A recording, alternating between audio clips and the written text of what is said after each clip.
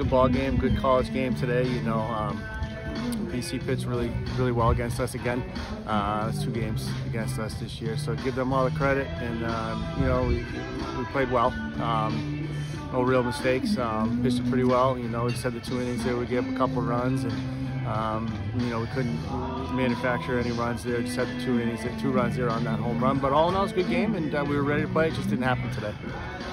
Uh, anything you noticed? Obviously, out against them last time. Is there anything you kind of point your finger as to um, what they've done to you guys and like? Yeah, they, they pitched really well against us. You know, I, he, they used a bunch of different guys, and um, they seemed to really pitch well against us. So give them credit. Um, they, you know, they pound the strike zone, really change speeds. Um, you, know, use the whole zone and, and just attack us, and um, you know, so just give them give them all the credit.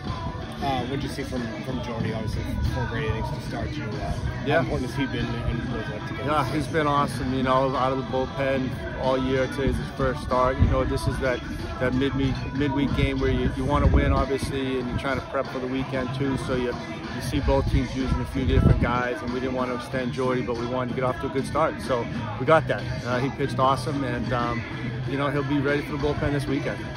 Um, obviously, how important has it been to have Danny back, and what can you say about him today? And obviously, yeah, it's good to see him get going today. You know, um, it, it, was good. You know, he, he got the barrel to that baseball, and um, you know, gave us a little jump there, gave us a lead for a minute, and um, so that was good. You know, we, I mean, we, we, we need him to be good like he was last year, and and um, get hopefully that gets him going obviously the, the weekend pass didn't go the way that you wanted, but uh, nice to have kind of a couple in a row here at home. Uh, just how important yeah. is that, and, and, what are you looking for at Elon? Yeah, well, I mean, we're not really playing that great at home, so we're going to find a way to play better.